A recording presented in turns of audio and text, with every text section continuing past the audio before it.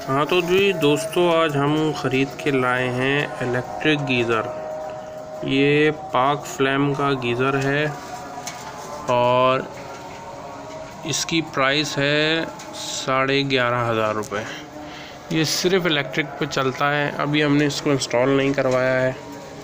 अभी हमने छत पे